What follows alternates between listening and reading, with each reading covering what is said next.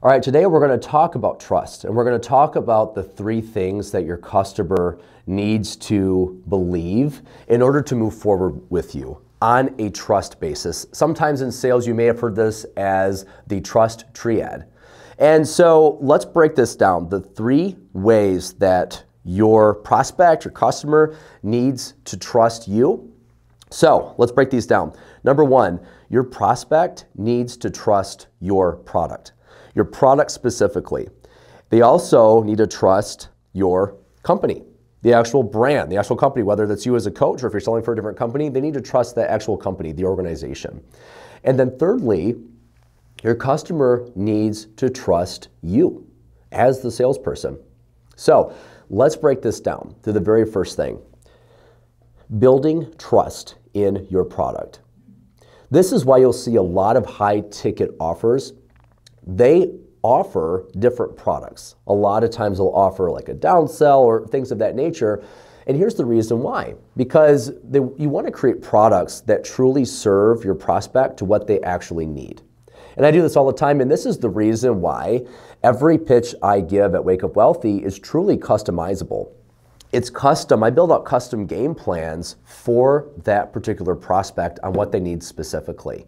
And based on what they need, I'm going to offer them something different, and price point can be different too, based on what they need. I'm truly trying to serve them in this role, not just offer them something because I want money. It's all about building the offer to serve them.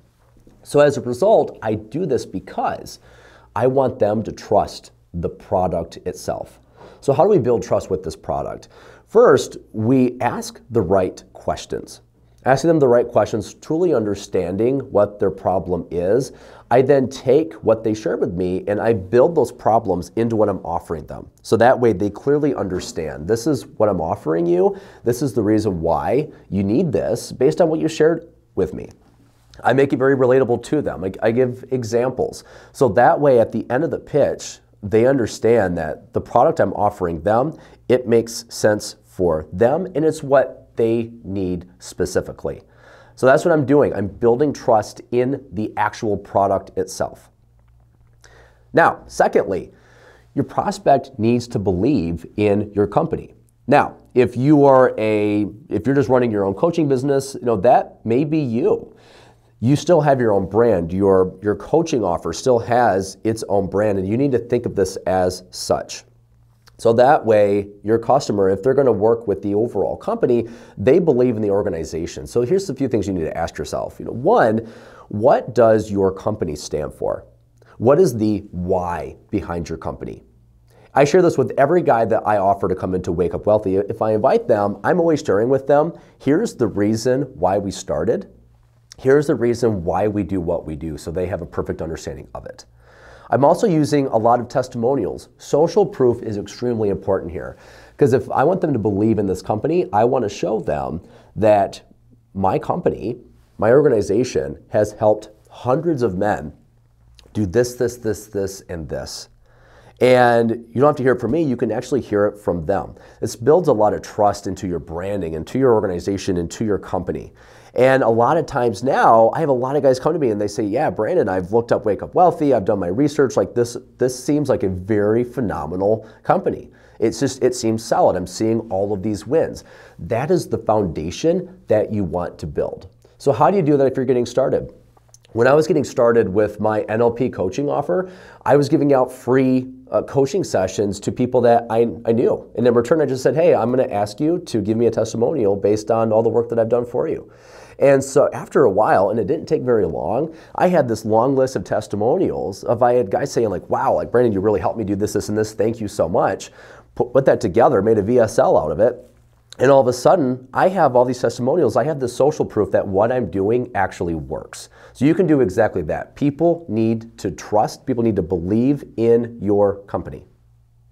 So that's the second one. Now, the third belief, and this is so very important, is that your prospects need to believe in you as the salesperson, no matter what. This doesn't matter if you're selling your own offer or if you are just a high ticket closer for a company. I'll share this with you. I've noticed in my time in the sales world, people that have their own offer, that's running their own offer, they typically sell the most. And here's the reason why it's because they believe in what they're doing, they're very convicted in what they're doing. When an actual coach is selling his or her own product, they close the most. Compared to someone who is a closer for a bigger company that came on board maybe spent six months with the company the conviction isn't always there as much. So your prospect needs to believe in you. Now how do you help increase this belief really intensify this belief that your prospects can have in you as a salesperson? Here's a few ways you can do this. One you personally you need to look in the mirror and ask yourself honestly what i'm selling right now do I believe in the product that I'm offering to them? Do I truly believe that this product I'm offering them is the right fit for them and can help them get to where they want to go? This is very important because if you offer them a product and you are unsure yourself if it's the right thing for them, it will come out in your tonality. It will come out in your energy. They will pick up on it. You need to truly ask yourself that. You also need to ask yourself do you believe in the company that you're representing, whether it's your company, whether it's a different company? Do you honestly believe in that company? And thirdly, you need to ask yourself, do you believe in you? I've met a lot of coaches who are struggling with selling their offer, and what we find out is at the end of the day, they have some doubts about themselves. They have some deeply rooted self doubts at the subconscious level of their mind, and they didn't even really realize it. And as a result, it came out in their tonality, it came out in how they presented themselves. And their prospects picked it up. They truly felt that. They felt that uncertainty out of that salesperson. So that's very important. You need to ask yourself do you truly believe in you? And so, believing in you, believing in the product, believing in the company. These are very important questions that you truly need to ask yourself.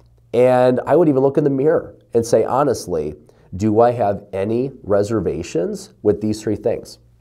The offer, the company, the product. And I'll tell you, typically, if, if I'm going to coach and bring on a new closer at Wake Up Wealthy, I prefer that that closer has been a client of Wake Up Wealthy prior. And here's the reason why.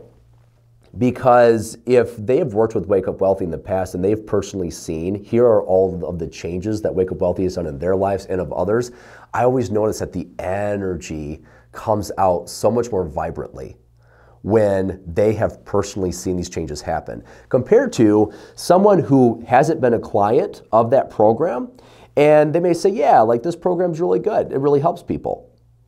That is so different than someone that says, This program absolutely changed my life, and this is why I want to talk to you about it.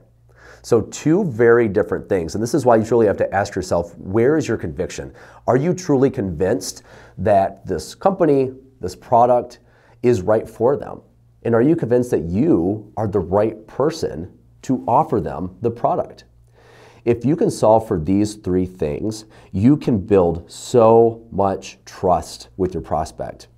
And that amount of trust is what's going to bring you to the next level to really help them, guide them to making a very important decision to say, look, are you willing to put a significant amount of money down to make some huge changes in your life? Now, if you like this content, please like, and subscribe. If you have any questions, please reach out to me. I'd love to hear from you, answer any questions that you have. I'm pretty accessible. Reach out to me on Instagram at brandon.giff.